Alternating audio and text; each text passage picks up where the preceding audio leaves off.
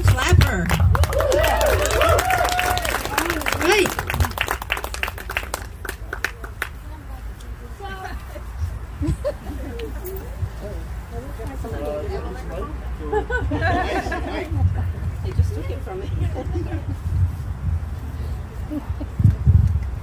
Well, hi. Thank you, everybody, for coming. Wow, so great to see you.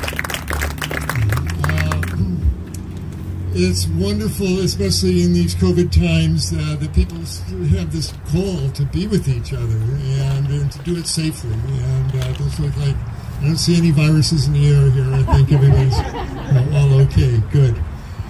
Um, okay, uh, we got a half an hour, a lot of stuff to cover. This is for the non-vegans in the group. This is for people who are still eating meat and dairy and thinking about, or they got dragged to this event and not really sure what's up with this plant-based stuff. Uh, and I want, and I'm going to say a bunch of things to those folks, and hopefully one thing I say may go, ooh, I didn't realize that. And if so, then everybody can go home knowing it's been a successful day. Mhm. Um, so, um, what's on our plate really matters. It does. Um, as a physician, I left uh, clinical practice a couple years ago, and I'm spending my time going around to the medical schools in North America, Australia, New Zealand, Europe, uh, and giving the students the lecture I wish somebody had given me when I was a first year med student. Uh, if you want to find out what we're doing, our initiative is called Moving Medicine Forward. You can find it on my website, drklaper.com. Trying to create a generation of nutritionally aware physicians so when you go in and talk to your doctor about nutrition, he doesn't throw you out of the office saying, When did you go to med school? So we want to uh, get nutrition um, firmly in uh, the course of medical practice. Not going to make this a medical lecture, just if any of you have any of these common diseases, if you're overweight, dealing with high blood pressure, clogged arteries, high cholesterol, uh, asthma, any inflammatory diseases uh, affecting your lung, your joint, your skin, know that these are largely due to what you are eating. It's the meat and the dairy and oils and sugars and, and processed uh, chemicals going through your bloodstream every few hours. And uh, if you get on a whole food plant based diet, these diseases go away. And it's the most exciting advance in medicine. It's the most powerful tool available to any physician uh, to, to reverse these diseases. I practiced medicine for 40 years before somebody put disease reversal in the same sentence for me. Uh, but now it's what I insist upon uh, to uh, see if we can reverse these diseases with plant based diets. They usually clear up. Um, and if there's any question, get on a whole food plant based diet, lots of salads and soups and steamed veggies for 90 days and watch if your body doesn't feel better, if your itises don't go away, if your cholesterol doesn't get better, you turn into a healthy human being who poops on a regular basis without, uh, without laxatives. Uh, every one of us who practices a nutrition based medicine, whole food plant based uh, uh, nutritional program, I have patients like Emily. Uh, she used to be 100 pounds overweight with diabetes, high blood pressure, whole food plant based diet, 11 months. Uh, this, uh, whoops, uh, that was a mistake. Um, this, um, the heavy Emily on the left turned into that svelte Emily on the right. Normal blood pressure, normal blood sugars, offer medications. This is the highest form of healing that any physician could ever want for their patient. And I asked the students, what more could you want? Why are you going into medicine? You Want to heal these patients or don't you? Do you want, if you're serious about healing these patients, then get real about why they are sitting in front of you overweight, diabetic, hypertensive, clogged up and inflamed from what they're freaking eating every four hours. And if you if you get them on a plant-based diet like the gorilla and bonobo cousins we have up in the trees, uh, eating leaves and fruit, uh, they turn into normal, healthy people. And that should be square one with all your treatment programs. It's not too late. It's not too difficult. If you want some help, you know somebody who needs help, uh, go to the uh, website we I work with, plantbasedtelehealth.com. They have a jumpstart program there. Uh, we'll, we'll you meet with a telemedicine physician uh, at the beginning. Uh, you get 10 days worth of uh, vegan foods, uh, uh, we recheck your lipids, etc. Things get better. We get you started. Um, but uh, Physicians Committee for Responsible Medicine, we've got a 21 day vegan jumpstart. I don't care how you do it, but take that first step. It's not too late, it's not too difficult. If you've not seen a film called Forks Over Knives, go to their website, forksoverknives.com, see the film, but then go back to the website. Uh, they've got a great transition plan. Uh, they'll walk you through uh, healthy foods. You can eat all you want. You still wind up nice, lean, and healthy. But what I want to talk to you today is about my biggest patient, my most important patient. And we're here because of the kids. We're here at a school. And we owe these kids. We owe them an education. Uh, we owe them a sane society. We owe them a, a planet with life support systems that aren't going to collapse in their lifetime. Uh, but if my if the planet Earth was my patient, I would put it in the intensive care unit. It's got a fever uh, that's getting worse. Uh, the circulation system, the rivers are all clogged up like uh, someone with atherosclerosis. The digestive system, the soils have been poisoned and they're not uh, recycling the nutrients. And uh, a respiratory failure. Carbon dioxide levels are going up. Uh, this patient should be intubated and ventilated uh, until the uh, um, uh, till the lungs repair themselves. We've got real trouble here. and the global warming is getting worse. Uh, this is the ice cover, 1979 versus 2007, and these poor bears around this iceberg because of a voracious appetite for meat. How can that be? What's the connection? It won't come to any surprise to, the majority of you, but those who've never even thought about this, you need to know that large-scale industrial animal agriculture, where we raise and slaughter 70 billion living creatures every year on this planet, is the main driving force for every single environmental nightmare we face deforestation. They're cutting down the forest to make grazing land and cropland for beef. The soil is eroding off, off corn and soybean fields destined for the gullet of animals. Most water in this country is used to irrigate alfalfa, corn, and soybeans, not to run cities. Most water is polluted with manure, pesticides, and herbicides running off of corn and soybean fields destined for the gullets of animals. Uh, most species are driven to extinction because we're taking their land and their forests uh, to grow grazing land for beef. And the majority of greenhouse gases, carbon dioxide, methane, nitrous oxide coming off of um, um, uh, ammonia-based fertilizers, um, these are largely due to the large-scale production of animal flesh. 74 billion animals, cows, pigs, sheep, sheep, chicken, all of them are breathing out carbon dioxide. Most of them are belching out methane. Most of them are eating grains that have been raised with ammonia fertilizers, put nitrous oxide into the air. Uh, I'll uh, give you some follow up if you're interested in this. But people say, well, what about all the trucks on the road? They're putting out carbon dioxide. Um, that argument is specious and disappears when you consider one question what's in the trucks? The entire agriculture industry is in those trucks, the farming industry is in those trucks, the restaurant industry is in those trucks, the fast food industry is in those trucks. They're full of tractors and fuel and fertilizers. Uh, their meat eating has its tentacles into every one of our environmental problems. There is no compartmentalizing transportation versus livestock production. It's all the same, and we're selling our souls and our future uh, for cheap cheeseburgers. There's soon going to be 9 billion of us on this planet. Well, let them eat fish.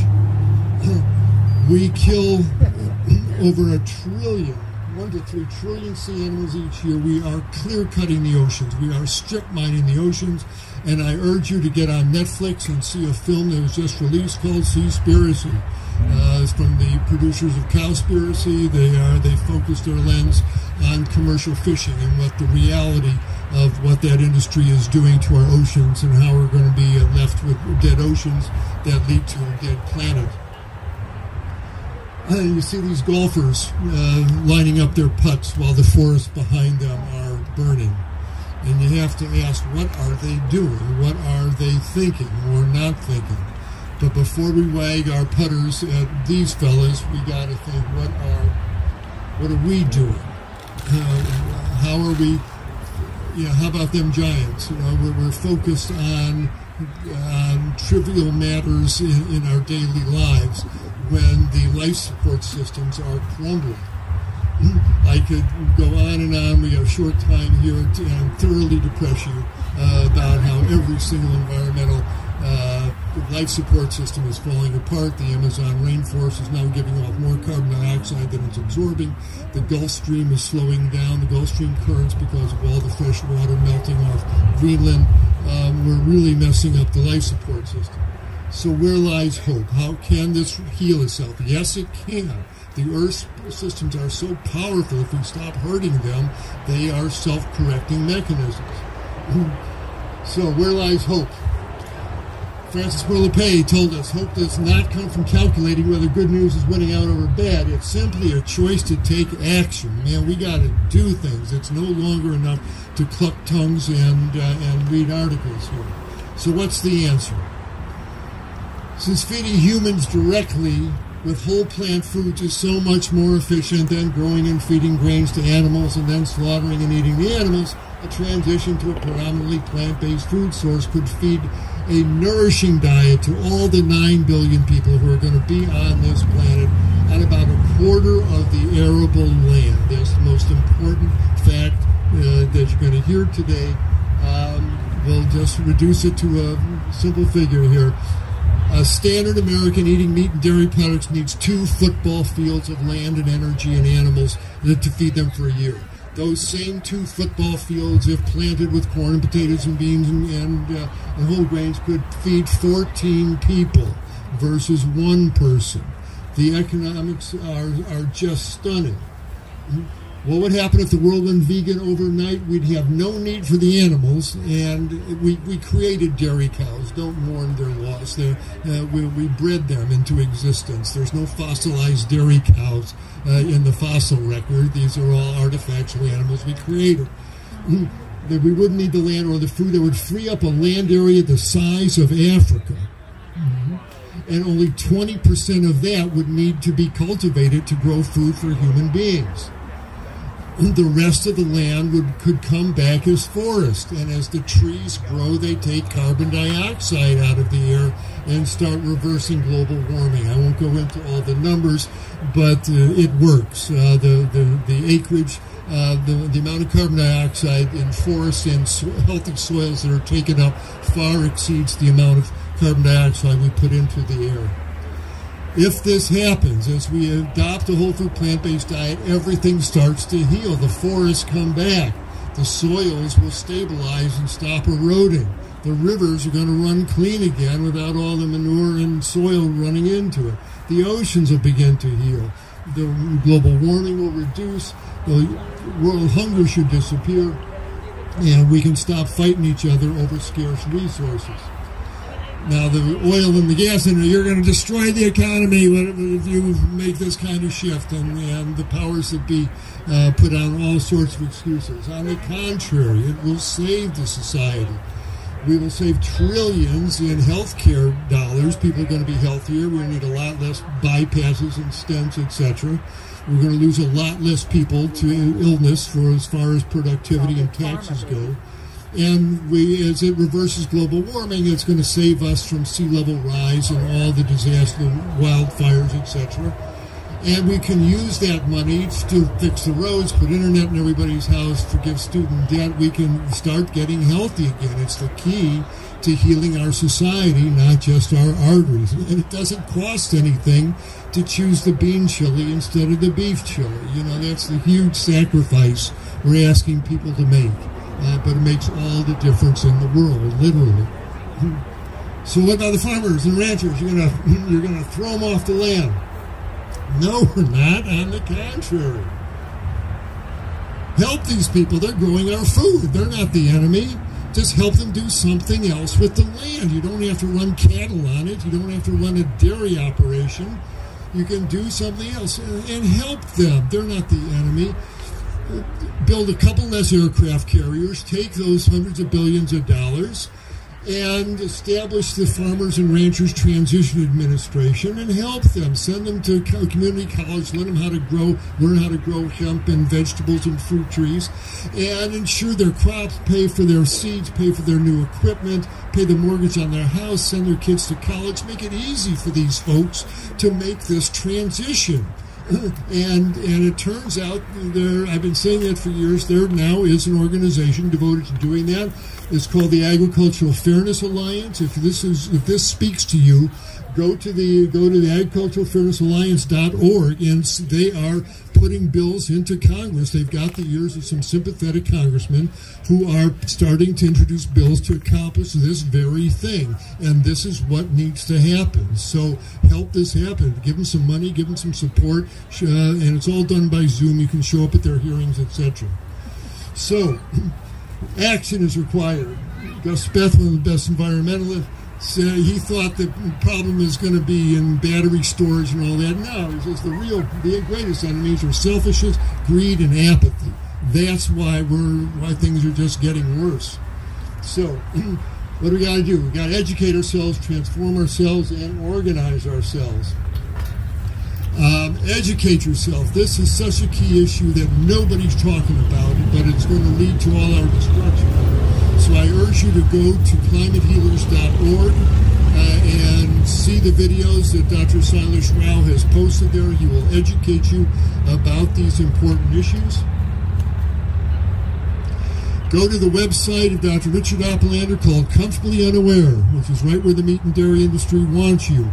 You'll see the videos on his website, read his book, Comfortably Unaware. Educate yourself, wake yourself up. There's nothing more important to educate yourself about. If you haven't seen a film called Game Changers, see this film. Uh, you have the confidence to know that you can talk to people. Corin is a, is a living example that you can create a magnificent muscle-ripped body on whole plant foods. Ask any gorilla, ask any giraffe, buffalo, elephant. You, you can do it on plants. And um, check out some of these plant-based athletes again, just to build up your confidence. Yes, this is a reasonable thing to do. Uh, um, go to my website, drklaper.com, download my resources sheet on how to make this transition. You'll find lots of videos there, lots of uh, uh, lots of aids as well. And here we are at, at Solid Rock. And the kids here are exposed to important environmental ideas. And they need to grow up and graduate as aware environmental citizens. Because every purchase you make at the supermarket, every meal you buy in a restaurant is a powerful statement to the producers, to the people around you, uh, to the entire society. It really matters. It's not well, they're just kids. They they spend money, and they and very soon they're going to vote. Um, it is important. There's nothing more important than to wake the kids up. To, it'll scare them. Listen, no food in the stores is going to scare them as well. It's time to get real. We owe the kids the truth. Um, you're not going to find it from the Environmental Protection Agency. This is off their website. Uh, what you can do at school, and they're all into recycling. That's great. Not a word do they mention about the connection between food and the environment. So it's up to you to talk truth to power and truth to your to the kids as well. And the message is the time to stop eating animals has come. We've used it up. No matter what role the mighty hunter played, it doesn't matter. Um, that chapter has closed. We have turned the page. We are being told as individuals you want to be healthy, eat a plant based diet. And Homo sapiens as a species, you want to survive, adopt a plant based diet. The lights are flashing. This is clearly the message, no matter how you want to slice it. We've used animal eating up. We've used fishing up. Okay? Gandhi said, "Be the change you want to uh, you want to see. Uh, start by what you're having for lunch or dinner." Dr. Rao tells us we now have to change from a predator species, which we've been all along on this planet, to Homo ahimsa, the caretaker species. You know, the, in the Bible, uh, it, you know, it says you know, we shall have dominion over the animals. Dominion comes from the same root as domestic. Domicile means your house. These are guests in your house. And, and man is, the, is supposed to be the gardener, the caretaker of the garden, and all the creatures in it, not the predator, not the slaughterer. As Dr. Rouse says, compassion for all life is infinitely sustainable.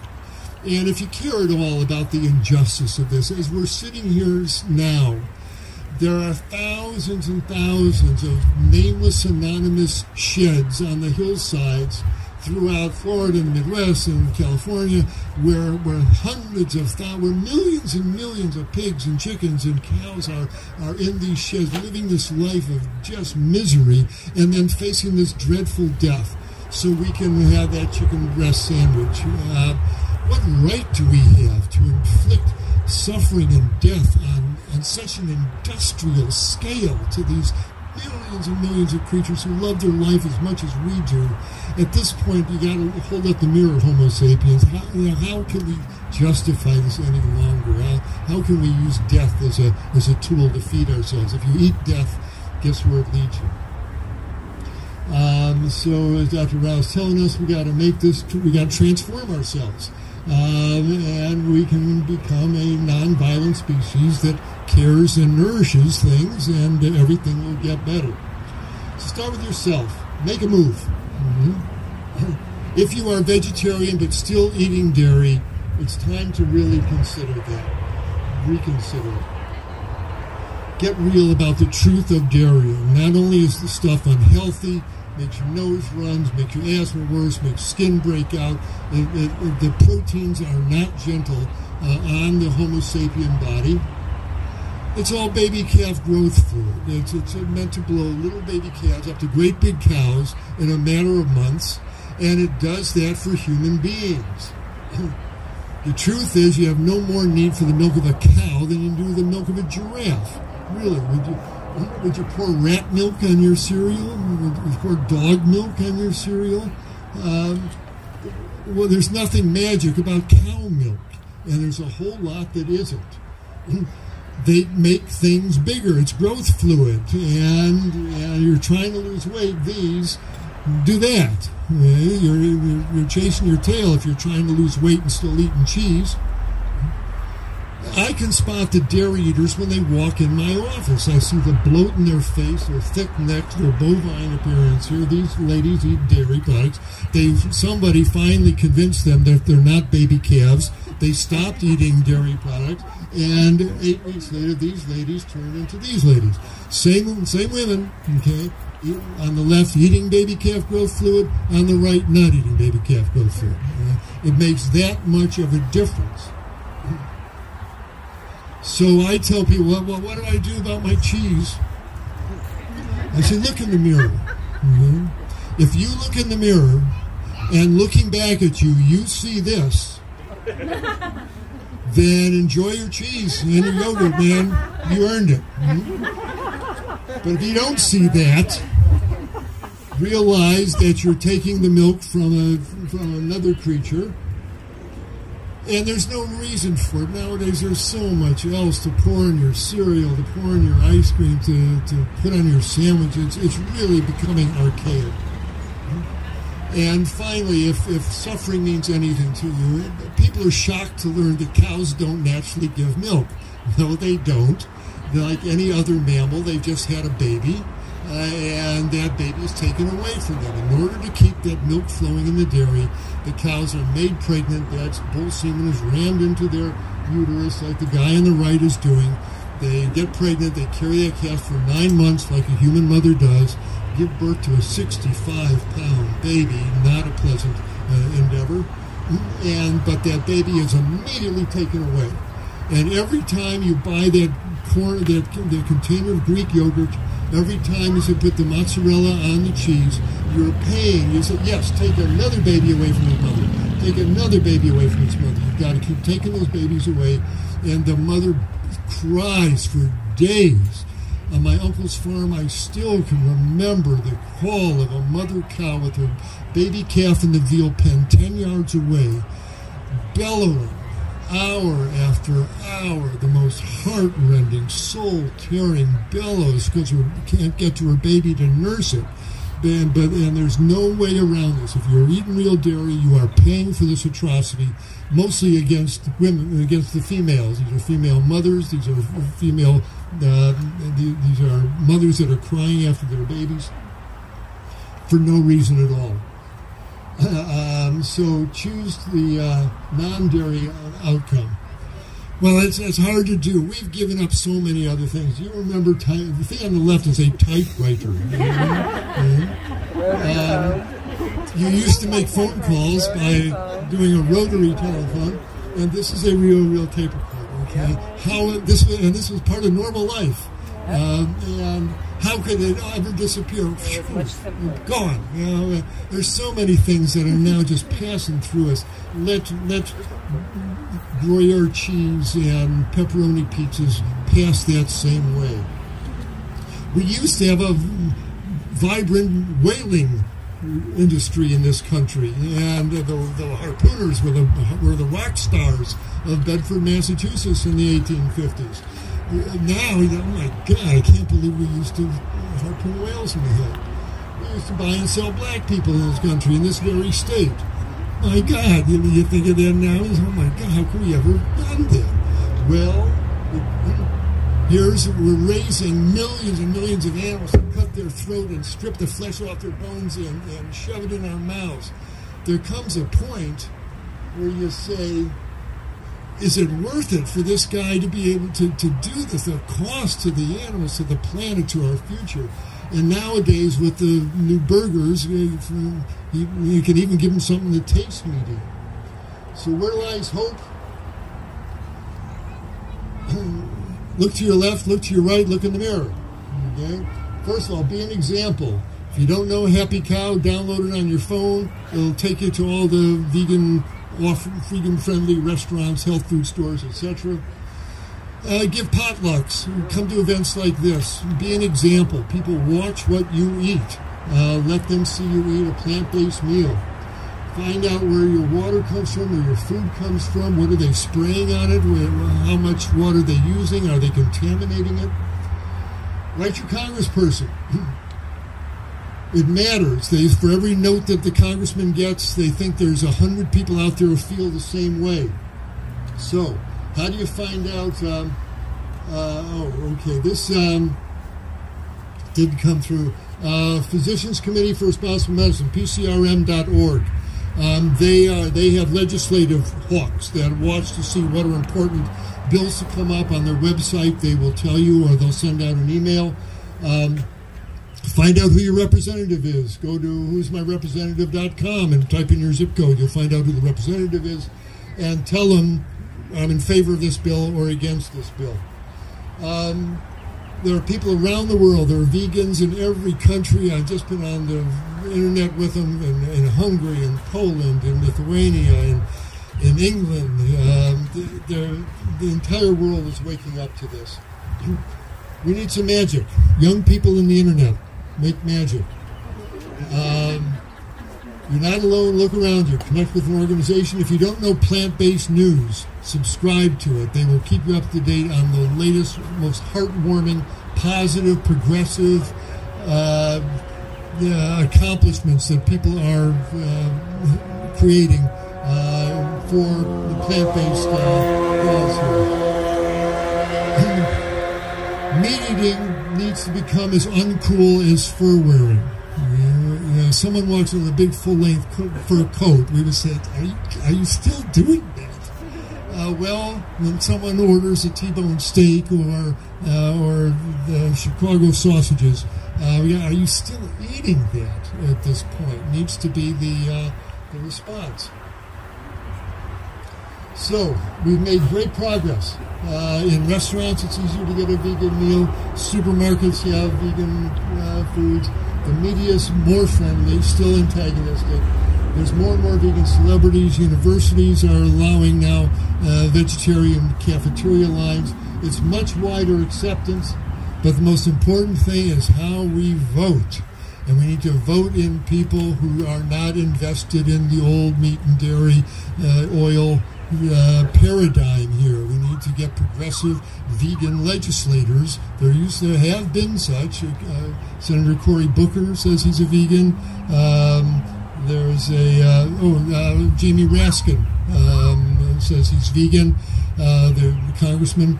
Um, we need a whole Congress full of vegans, and so vote them in. Burgers for nine billion. Really, and that's what the paleo folks say. Oh, everybody ought to eat paleo. Are you seriously saying a, a flesh-based meal three times a day for nine billion people? What are you talking about? The keto folks. Uh, uh, pack your intestine full of meat three times a day. What are you talking about? Not only is it dangerous for your body, but it'll destroy this planet. These kids deserve better. Mm, they deserve a functional, flowing planet with clean water and stable atmospheres. So, the question is, what's on your plate? And so to the pre-vegans, I love that term. Shannon got me, they got me that yeah. For the, pre, pre-vegans here, if anything I said made you think, wow, I didn't realize that.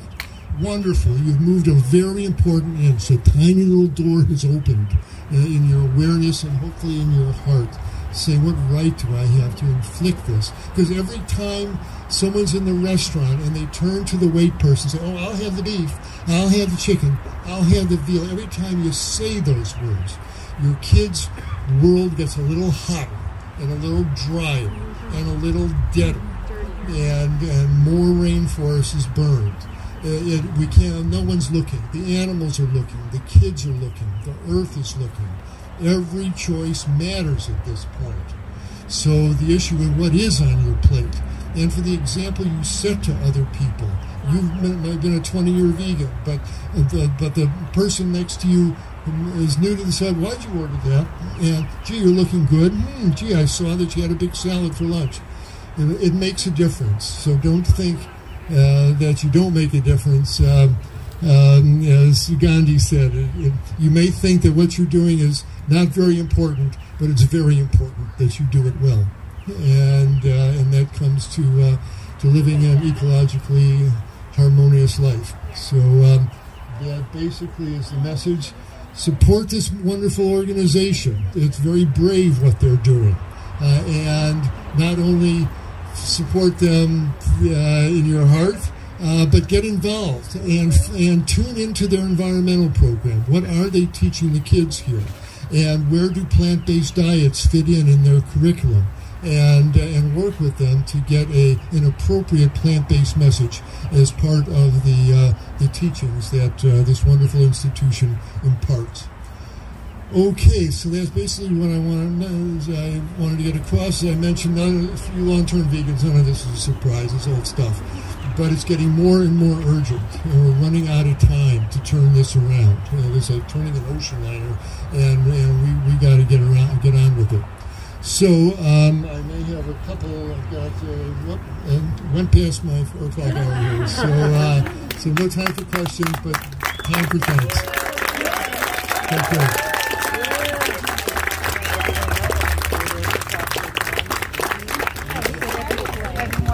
Oh my goodness, a giant, another giant round of applause for Dr. Klaper, please. Dr. Klaper is one of my heroes because not only is he an incredible doctor and knows so much about the health, but he's an incredible animal rights activist and he's just amazing. All right, so I know everybody's really hot, but the good news is our next speaker is inside. Actually, our next two speakers are inside. Fab the vegan here is about to tell you all an amazing transformation story.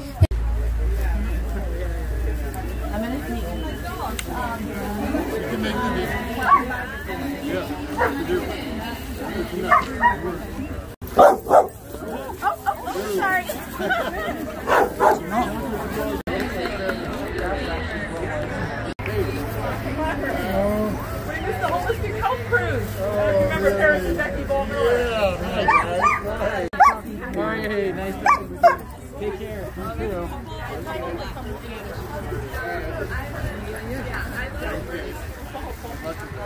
Uh, here's your, uh, so I don't want. Oh, yeah, thank you, thank you. Absolutely. I got it in. Yeah. Oh. I'm psyched about this. I was like, What's your name? Jenna. Yeah, I loved it. You got it. I loved it. Yeah.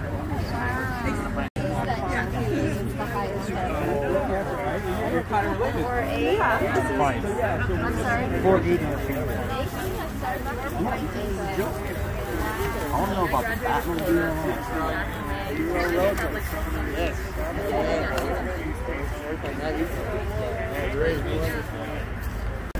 Water for Dr. Klaper. Oh, thank you.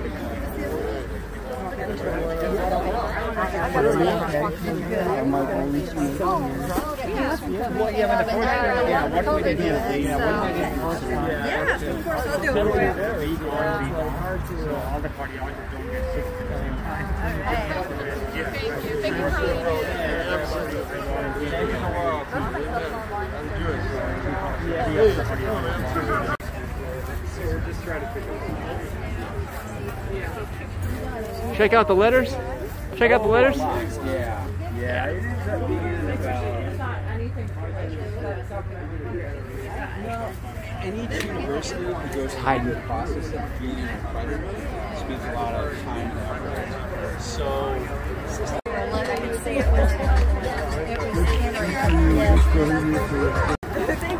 Are